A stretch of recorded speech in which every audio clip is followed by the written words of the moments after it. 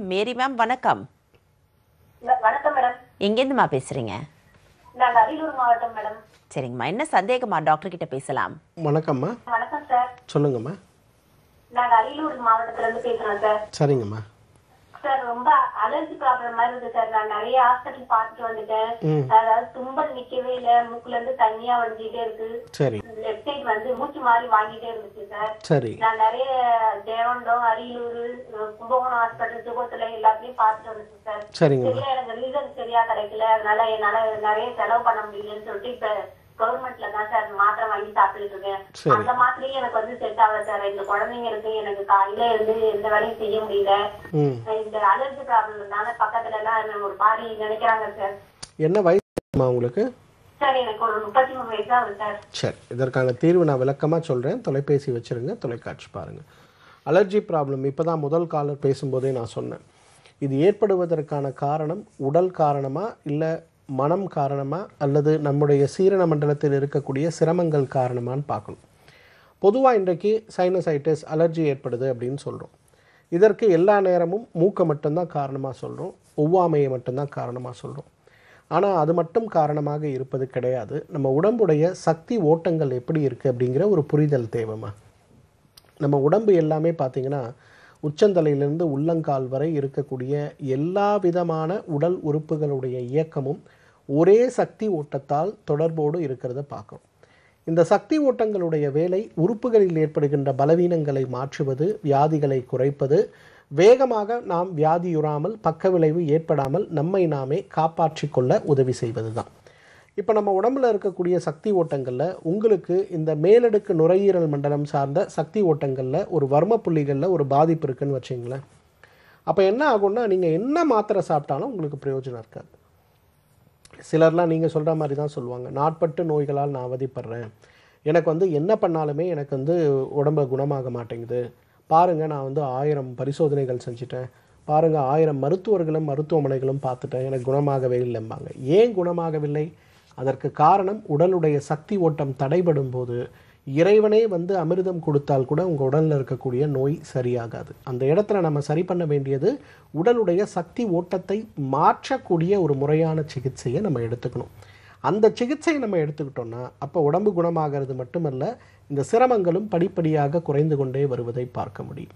இன்றைக்கு நவீன மருத்துவத்தால் குணப்படுத்த முடியாது அப்படிங்கிற வகைப்பாட்டியலில் இருக்கக்கூடிய நிறைய நோய்கள் இன்றைக்கு எப்படி இயற்கை மருத்துவத்தால் குணமாக்கப்படுகிறது அப்படின்னு பார்த்தோம்னா இந்த சக்தி ஓட்டங்களில் இருக்கக்கூடிய அந்த எனர்ஜி பாயிண்ட்ஸையும் ஓட்டங்களையும் சரி செய்யக்கூடிய அளவுக்கு நம்முடைய சிகிச்சைகள் இருக்குமேயானால் பலப்படுத்தக்கூடிய அளவுக்கு நம்முடைய சிகிச்சைகள் இருக்குமேயானால் அந்த நோய்கள் வேகமாக குணமாகிறத பார்க்க முடியும். அதனால் கவலைப்பட வேண்டாமா? நான் ஒவ்வொரு மாதமும் இரண்டாவது சனிக்கிழமை கும்பகோணம் வருவேன். நீங்கள் ஒரு முறை மருத்துவமனையை தொடர்பு கொண்டு பேசி இரண்டாவது சனிக்கிழமை கும்பகோணத்திலும் இரண்டாவது ஞாயிற்றுக்கிழமை சிதம்பரத்திலும் என்னை பார்க்க முடியும். உங்களுக்கு எங்கே பக்கமோ ஒரு முறை நேரில் வாங்க. நீங்கள் மருத்துவமனையை தொடர்பு கொண்டு பேசும்போது இந்த மாதிரி நாடி பரிசோதனை செய்யணும் அப்படின்னு சொல்லி ஒரு அப்பாயின்மெண்ட்டுக்கு டைம் கேட்டிங்கன்னா காலையில் ஒரு எட்டு மணி ஏழு மணிக்கெல்லாம் சீக்கிரமாக வந்துட்டிங்கன்னா நான் நாடி பரிசோதனை செய்து உங்களுக்கு என்ன தேவை உடம்புல என்ன சக்தி ஓட்டங்கள் பாதிக்கப்பட்டிருக்கிறது அப்படிங்கிறத விளக்கமாக சொல்லித்தரேன். அந்த முறையில் முறையான சிகிச்சை நீங்கள் எடுத்துக்கிட்டிங்கன்னா ரொம்ப அழகாக இந்த பிரச்சனை குறையிறத பார்க்க முடியும்.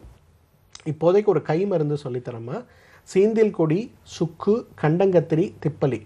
இதை நிறைய முறை நம்ம நிகழ்ச்சியில் பதிவு செஞ்சுருக்கேன். நிறைய பேர் இதை சாப்பிட்டு இதோடைய பலன்களை பற்றி விரிவாக நம்ம நிகழ்ச்சியில் பகிர்ந்திருக்காங்க. ஒரு ரெண்டு கிராம் சீந்தில் கொடி ரெண்டு கிராம் சுக்கு ரெண்டு கிராம் கண்டங்கத்திரி ஒரே ஒரு சிட்டிகை வந்து திப்பலி. இதெல்லாம் நாட்டு மருந்து கடைகளில் சுலபமாக உங்களுக்கு கிடைக்கும். ஒரு முந்நூறு மில்லி தண்ணி எடுத்து இதில் எல்லாம் ரெண்டு ரெண்டு கிராம் போட்டு கொதிக்க வச்சு நூறு மில்லியாக குறைச்சி வடிகட்டி காலை ஒரு வேளை மதியம் ஒரு வேளை இரவு ஒரு வேளை உணவுக்கு முன்புன்னு இதை சாப்பிடுங்க. இதை சாப்பிடும்போது ஒவ்வாமை தன்மையுடைய ஒரு குணம் குறையிறத நம்ம நிச்சயமாக உணர முடியும். பர்ம புள்ளிகளில் இருக்கக்கூடிய பாதிப்புகளால் ஏற்படுகின்ற ஒவ்வாமையாக இருந்தாலுமே அதோடைய தாக்கம் குறைவதை நம்ம பார்க்க முடியும். நீங்கள் முடிஞ்சால் மருத்துவமனையை தொடர்பு கொண்டு பேசிட்டு நேரில் வந்து ஒரு முறை என்னிடத்தில் நாடி பரீட்சை செய்து உங்களுக்கான நோயுடைய தீவிரத்தை புரிந்து முறையான சிகிச்சை எடுத்துக்கிட்டிங்கன்னா இந்த நோயும் வேகமாக தீரும். கவலைப்படவே வேண்டாமா ஸ்ரீவர்மா ஆயுர்வேதா மருத்துவமனையின் வெல்னஸ் குருஜி அவர்களை டிசம்பர் மாதம் முதல் வாரம் இரண்டாம் தேதி வெள்ளிக்கிழமை பெங்களூரிலும் மூன்றாம் தேதி சனிக்கிழமை ஓசூரிலும் நான்காம் தேதி ஞாயிற்றுக்கிழமை வேலூரிலும் சந்தித்து மருத்துவ ஆலோசனை பெற தொடர்பு கொள்ள வேண்டிய தொலைபேசி எண்கள் பூஜ்ஜியம் நான்கு நான்கு நான்கு ஆறு பூஜ்ஜியம் ஒன்பது நான்கு ஒன்பது பூஜ்ஜியம் பூஜ்ஜியம் ஒன்பது ஐந்து பூஜ்ஜியம் பூஜ்ஜியம் ஒன்பது நான்கு ஆறு ஆறு மூன்று நான்கு ஒன்பது ஐந்து பூஜ்ஜியம் பூஜ்ஜியம் ஒன்பது நான்கு ஆறு ஆறு மூன்று ஐந்து. ஸ்ரீவர்மா ஆயுர்வேதா மருத்துவமனையின் சிறப்பு மருத்துவர்களிடம் தொலைபேசியில் மருத்துவ ஆலோசனை பெற்று மருந்துகளை தபாலில் பெறலாம். தொடர்பு கொள்ள வேண்டிய தொலைபேசி எண் ஒன்பது ஐந்து பூஜ்ஜியம் பூஜ்ஜியம் ஒன்பது நான்கு ஆறு ஆறு மூன்று எட்டு. அறுவை சிகிச்சையில்லா குணம் ஆயுட்கால நிவாரணம்.